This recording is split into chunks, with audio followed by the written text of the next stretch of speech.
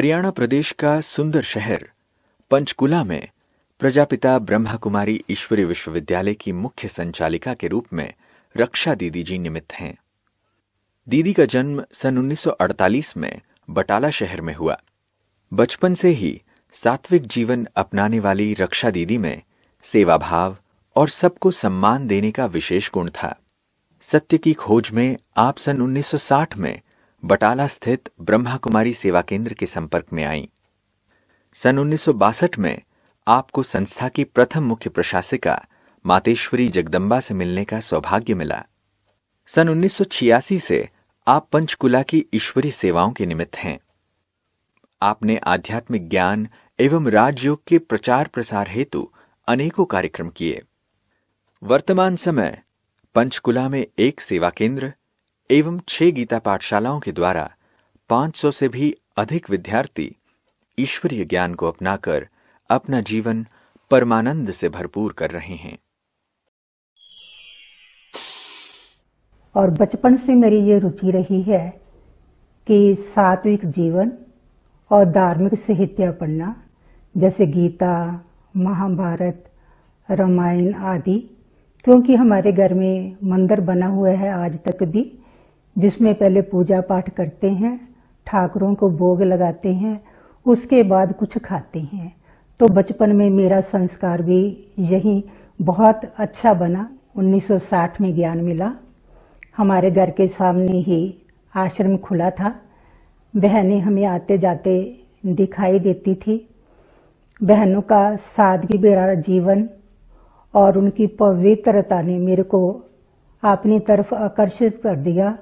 और जो वीरवार को भोग लगता था, हम वो खाने के लिए जाते थे। उस समय हम छोटे थे तो बहनें बहुत प्यार से हमें भोग खिलाती थी। उसके बाद धीरे धीरे मैं ज्ञान योग में आगे बढ़ी और वीरवार को जो भोग लगता था, उस समय दोपहर के समय लगता था, सुबह के समय नहीं, दिन में दस से बारह भोग लगता था। उस समय हमें इतना नशा चढ़ता था कि आज हम भगवान को भोग स्वीकार कराने वाले हैं जब तक बाबा भोग नहीं खाएँगे, हम भी नहीं खाएँगे तो हम सुबह सिर्फ़ एक कप चाय का लेते थे और कुछ नहीं लेते थे।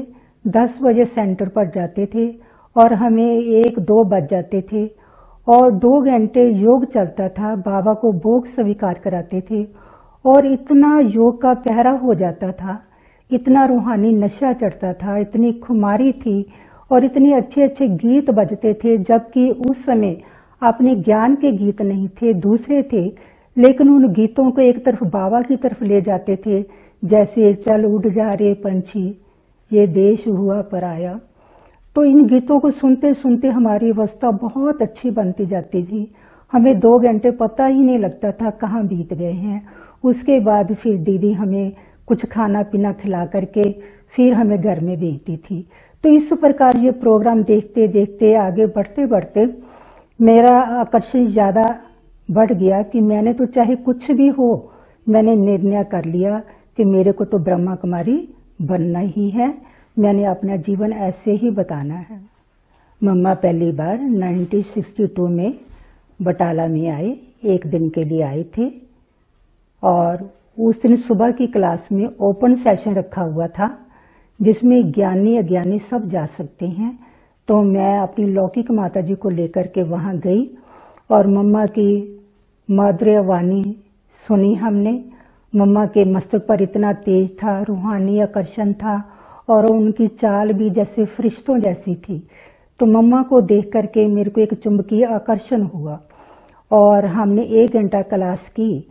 जब हम घर में वापस आए तो मेरे माता जी ने कहा, रक्षा बच्ची, अगर आज मैंने देखा है तो आपकी मम्मा को देखा है, सही मैंने में यही जगदम्बा है जिसको आज तक हम पूछते आए हैं।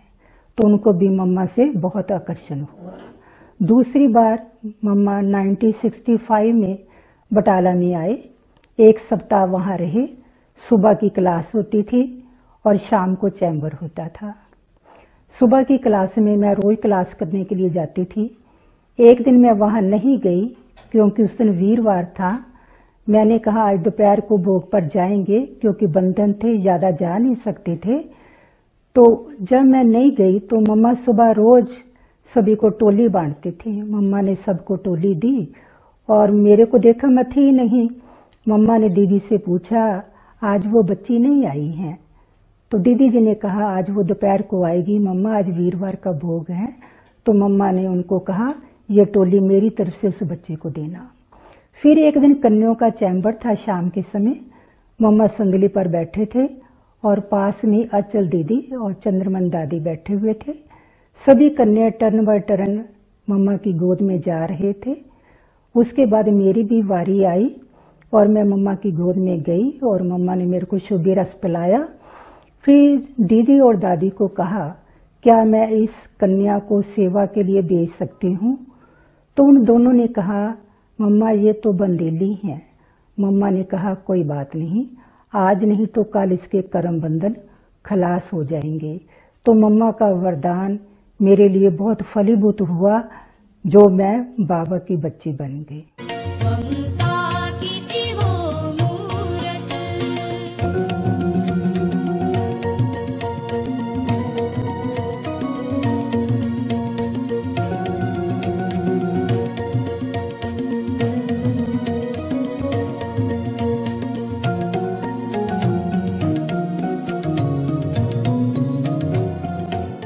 समय मैं छोटी थी तो मैं मधुबन जा नहीं सकी, क्योंकि बंदर में थे तो उस समय दादियों ने सोचा कि हम जो भी बंदेली बच्चियाँ हैं, उनको कैसे बाबा से मिलाया जाए।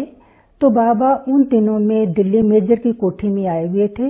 बाबा से पूछा गया, बाबा, दो दिन के लिए आप अमृतसर में आएँगे बंदेलियों को मिलने के लिए? तो बाबा ने कहा, जी, बाबा ज़रूर आएँगे। तो दो दिन के लिए वहाँ कोठी किराए पे ली गई और बाबा को कहा तो सब खुशी में झूमने लगी। हम साकार बाप दादा को मिल पाएँगे, लेकिन ड्रामा अनुसार कुछ और ही हुआ। थोड़े दिनों के अंदर ही मेजर की तबीयत खराब हो गई और उन्होंने शरीर छोड़ दिया। तो बाबा कहीं नहीं गए, बाबा सीधे ही मधुबन चले गए, इसलिए हम साकार बाबा को मिल नहीं पाए हैं। लेकिन ये रहा कि हम बाबा को पत्रों के द्वारा बहुत मिले हैं। बहुत ही ज़्यादा हम बाबा को पत्र लिखा करते थे और बाबा उसका रिस्पॉन्ड दिया करते थे। एक बार मैंने बाबा को गीत भी भेजा। वो गीत था, एक तो ना मिला, सारी दुनिया मिले भी तो क्या है? तो बाबा ने उस गीत का भी बहुत प्यार से उत्तर दिया, बच्ची, बाबा बंदेलियों को बहुत प्यार करता है। आप ये नहीं सोचो, आप बाबा से नहीं मिली हो। लेकिन तन से चाहे आप बाबा के पास नहीं आई हो, मन से आप बाबा के पास पहुँच गई हो। तेरा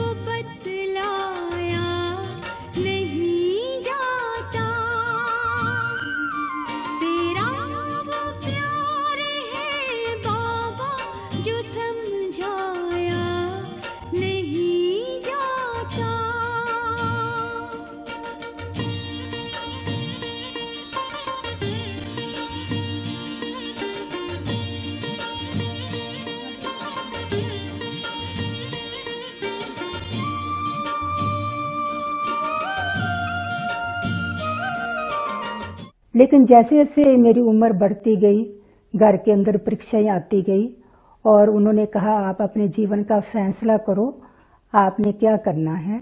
तो मैंने कहा, मैंने तो बाबा की बच्ची बनना है। तो बहुत परीक्षाएँ आई और उन परीक्षाओं को मैंने एक बल, एक भरोसे के आधार पर परीक्षाओं को कुछ कुछ पार करती गई और उन्होंने कहा, आपको पता है, आपने किस घर में जन्म लिया है? किस स्कूल में जन्म लिया है। लौकिक माँ बाप का नाम बाला करना भी आपके हाथ में है और उनका नाम बदनाम करना भी आपके हाथ में है। तो मैंने कहा, मैंने तो किसी देहदारी से लगन नहीं लगाई है। मैंने तो भगवान से लगन लगाई है, जिसके लिए आप कहते हो, मीरा जैसी लगन लगा दे, केड़ा तेरा मूल लगदा। तो आपके घर में तो एक मीरा पैदा हुई है। तो आप मेरे को भगवान से मिलने क्यों नहीं देते हो? फिर भी लोक लाज के कारण काफ़ी परीक्षाएँ भी आई, काफ़ी उन्होंने सहयोग भी दिया। तो उन परीक्षाओं को मैंने एक बाल एक भरोसे पार किया। मेरे को कुछ नहीं दिखाई देता था बाबा के सिवाय, एक बाबा मेरे साथ है, मैं और बाबा कंबाइंड हैं। कहते हैं जिसका साथी है भगवान, उसको क्या रोकेगा आंधी और तूफ़ान? तो सचमुच में उन परीक्षाओं को एक खेल समझ करके हँसते हँसते पार किया। कि मेरे साथ मेरा बाबा है। अगर मैं दृढ़ संकल्प करूँ तो क्या नहीं हो सकता। अगर मेरे अंदर दृढ़ संकल्प की कमी है तो मैं इन परीक्षाओं को कैसे पार करूँगी? मैंने बड़े भाई साहब को कहा, आप एक बार मेरे को मधुबन में भेजो। मैं मधुबन जाकर के डिसाइड करूँगी कि मैंने दुनिया में जाना है या बाबा का बनना है। फिर मेरे माता पिता भी मान गए और मेरे भाई ने भी बड़े प्यार से मेरे को मधुबन भेजा। और जब मैं पहली बार बाबा को मिलने के लिए मधुबन गई, जैसे पांडव भवन के गेट के अंदर एंटर किया तो मेरे को ऐसे लगा जैसे बाबा बाएँ फलाए खड़े हैं। आओ बच्ची, बाबा तो कब से आपका इंतज़ार कर रहे हैं। तो जब मैं बाबा के सामने गई तो सरला बंद ने कहा, बाबा, ये बंदेली हैं। तो बाबा ने कहा अच्छा मधुबन तो पहुँच गई। मैंने कहा, बाबा, मैं तो आपकी बनूँगी। तो बाबा ने कहा, जो बच्ची इतनी हिम्मत करके मधुबन आ सकती हैं, वो आगे बहुत कुछ कर सकती हैं। मैंने कहा, जी बाबा। बाबा ने कहा अच्छा बच्ची, बाबा आपको दो वरदान देते हैं। एक वरदान ये है, अमृत वेले उठ करके माँ बाप को योग का दान देना और दूसरा निर्भयता का गुण धारण करना है। मैंने कहा, जी बाबा। तो बाबा ने जो दो वरदान दिए, जब मैं मधुबन से वापस आई तो मैं उन दोनों वरदानों को प्रैक्टिकल अपने जीवन में लाया और मैंने देखा कि थोड़े समय के अंदर ही मेरे धीरे धीरे कर्म बंधन खलास होने लगे और मैं बाबा के घर में रहने लगी। उसी समय की बात है कि मैं मधुबन में थी और मेरा ऑपरेशन होना था तो मैं उस दिन हॉस्पिटल में जाना था। तो प्रताप भाई से मैं पांडव भवन के बरामदे में खड़े होकर के बात कर रही थी।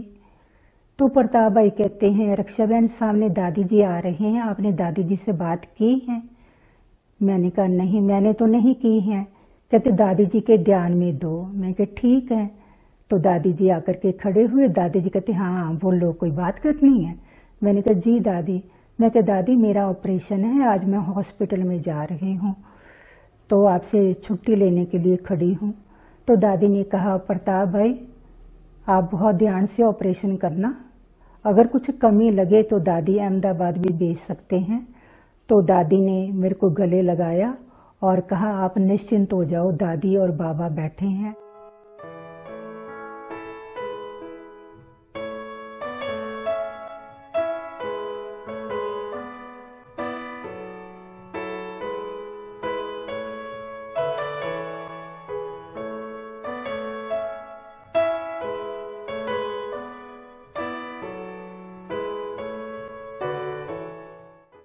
ऐसे ही जब हमने ये जगह लेनी थी तो हम सोच रहे थे, हमारे पास पैसा तो इतना नहीं है। पहली किश्त हमने एक लाख की देनी थी। तो हमने एक लाख इकट्ठा किया और हम मधुबन गए और रमेश भाई से बात की। रमेश भाई, हमने जगह लेनी है। वो कहते, बहन जी, एक लाख से क्या होगा? इतनी किस्तें उतारनी है, फिर बाबा का घर बनेगा। तो मैं तो छुट्टी नहीं देता हूँ। मैंने कहा नहीं रमेश भाई आप ऐसा ना करो हम तो घर बदलते बदलते थक गए हैं अभी तो बाबा का घर हमें चाहिए। कहते अच्छा दादी के पास जाओ अगर दादी छुट्टी दे देती हैं तो फिर मैं साइन करूँगा। तो मैंने आ, उसी समय अचल दीदी भी साथ में थे। मैंने अचल दीदी जी को कहा दादी के पास मेरे को लेके चलो रमेश भाई ऐसे ऐसे कहते हैं। तो अचल दीदी और मैं दोनों दादी के कमरे में गए। और दादी को कहा, दादी, रमेश भाई ऐसे ऐसे कह रहे हैं। तो दादी ने कहा, ठीक है, रमेश भाई तो ठीक कह रहे हैं, क्योंकि पैसा नहीं होगा तो घर कैसे बनेगा? मैंने कहा, दादी, नहीं, हमें अपने भाई बहनों के ऊपर पूरा विश्वास है कि अगर उन्होंने ये बीड़ा उठाया है तो पूरा करके दिखाएँगे। जब सारे विश्व का मालिक बाबा हमारे साथ है तो क्या नहीं हो सकता है? तो दादी ने कहा अच्छा ऐसी बात है, रक्षा आप कर लोगी? मैंने कहा, दादी हाँ बाबा मेरे साथ है, आप मेरे साथ हो। मैं अकेली थोड़ी ही हूँ। दादी ने कहा अच्छा। दादी ने बड़े प्यार से साइन किए और कहा रमेश भाई को जाकर के कह दो, दादी ने छुट्टी दी है। दूसरी बात, हमारे चंद्रमन दादी, जिनको पंजाब का शेर कहते थे, वो दादी अमृतसर में रहती थी। बटाला और अमृतसर में सिर्फ़ एक घंटे का अंतर है। दादी हर संडे को बटाला में आते थे। क्योंकि हर संडे को बड़ा प्रोग्राम बटाला में होता था। कई बार तो दादी एक एक मास भी आकर के बटाला में रहती थी। तो मैं जो भी दिल की बात थी, दादी से करती थी, क्योंकि दादी का जो नेचर था, वो बहुत रमणीक था। बहुत प्रिय था, हर समय खुश रहते थे, मुस्कुराते रहते थे और बड़े प्यार से बात करते थे। बच्चों के साथ बच्चे हो जाते थे, बड़ों के साथ बड़े हो जाते थे। तो मेरे को दादी का जो व्यवहार है, बहुत अच्छा लगा। और हमारे माता पिता भी जब इतवार को दादी आते थे तो उनको मिलते थे तो वो दादी से बहुत प्रभावित हो जाते थे। तो मैंने दादी जी को कहा, दादी जी, मैंने एक दिल की बात आपसे करनी है। कहते हाँ करो रक्षा। तो उन दिनों बहनों की ट्रांसफ़र होने का चक्कर चल रहा था। तो कहते, आपको वहाँ जाना है? मैंने कहा, दादी जी, मेरी तबीयत बहुत खराब है। मैं मना भी नहीं कर सकती हूँ, जाऊँगी भी ज़रूर, लेकिन मेरे साथ किसी नई बहन को ना भेज करके, अमृत बहन को भेज दो तो बहुत अच्छा रहेगा। दादी ने कहा, क्यों नहीं रक्षा? मैं आपके साथ अमृत बहन को ज़रूर भेजूँगी। तो दादी ने मेरी वो इच्छा को पूरा किया तो मेरे को बहुत खुशी हुई कि बड़ी दादियाँ कैसे अपने छोटे बच्चों को बड़े प्यार से चलाती हैं।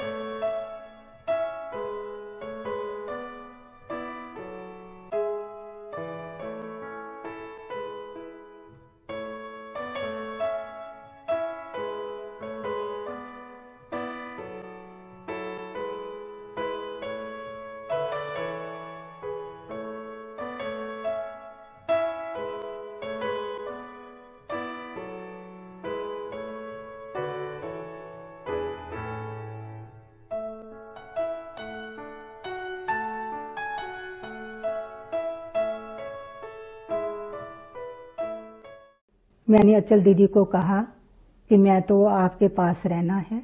तो हमारे घर के भी कहते थे कि आप अचल दीदी के पास रहो, क्योंकि हम उनको बहुत अच्छी तरह से जानते हैं। क्योंकि 98 में दीदी को बाबा ने चंडीगढ़ के सेंटर के लिए नियुक्त किया था। तो मेरे जब बंधन खलास हुए तो मैंने कहा, मैं तो चंडीगढ़ रहूँगी। तो अचल दीदी मेरे को चंडीगढ़ ले आए। थोड़े समय मैं चंडीगढ़ सेंटर पे रही। उसके बाद कुछ समय मोहाली में रही। उसके बाद 1986 में जब पंचकुला गीता पाठशाला चल रही थी, इसको बड़ा रूप देना था तो दादी जी ने और अचल दीदी ने। दोनों ने हमें पंचकुला के लिए नियुक्त किया।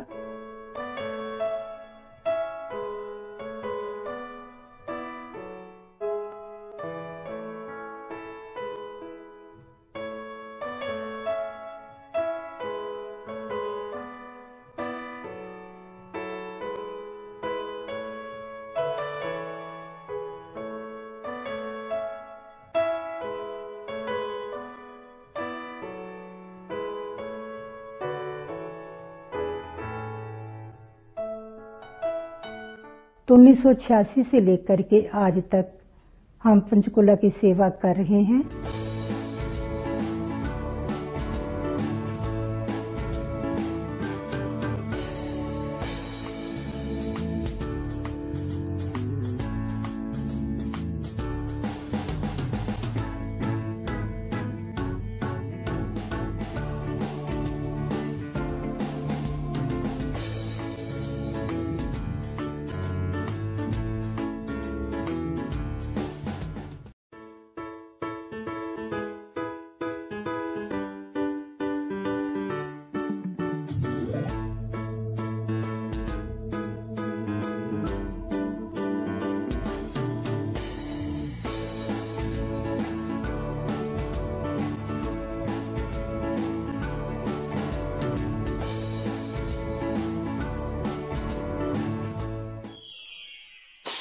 आदरणीय रक्षा बहन जी, एकदम निस्वार्थ सेवा करती हैं।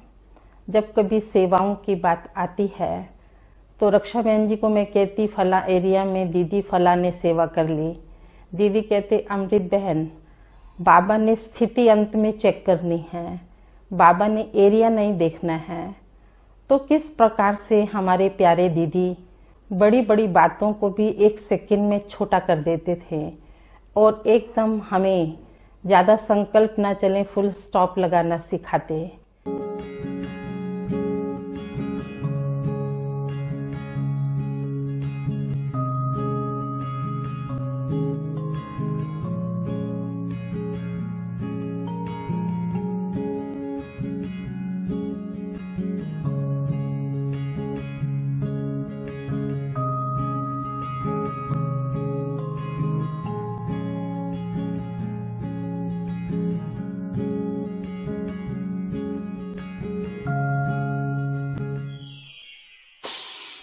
दीदी जी एक कुशल प्रबंधक हैं, लेकिन साथ ही साथ इकोनॉमी का पार्ट भी बहुत अच्छा है।